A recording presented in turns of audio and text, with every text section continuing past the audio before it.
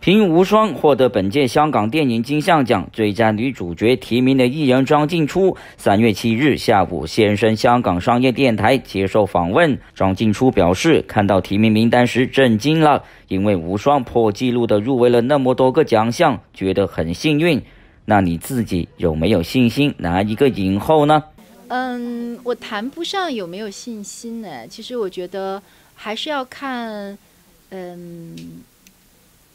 每个人拿到的这个考卷都不一样嘛，就是还是要看，就最后这个到底，呃，空间发挥空间有多大吧。不管怎么样，我的这个虽然是一个商业商业片，虽然演了三个角色，但是说实话，并不是一个女主戏，所以我觉得对我来说，好像我没有去期待说真的能拿到呃影后。对我没有。刚才是不是也说看好阿 sa 他们呢？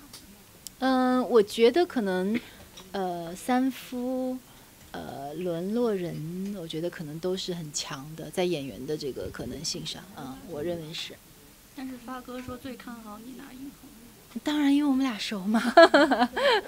对，还有就是他可能，嗯，对我觉得我完成的也不错啦，对。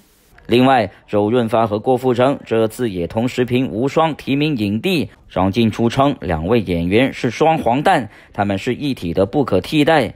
那张晋初，你的妈妈是发哥的粉丝，会不会自己给发哥加点分呢？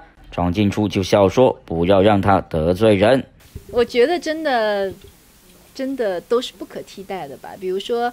呃，其实从角色的变化来说，当然我觉得郭富城的这个角色变化更大哈，就是因为他前面那么怂，后面那么，但是发哥呢，我觉得他是不可替代的，就是你很难想到第二个人能演发哥那个角色，就是没有人能演，所以我就觉得这种不可替代性才是演员身上最珍贵的东西吧。嗯。此外，最近正忙于拍戏的发哥，在片场时不小心发生意外，左边额头头破血流，要缝五针。庄静初，你有没有关心一下发哥呀？我不知道，我刚刚听你说我才知道，所以我待会儿肯定要找机会赶紧问候一下。魔方传媒香港报道。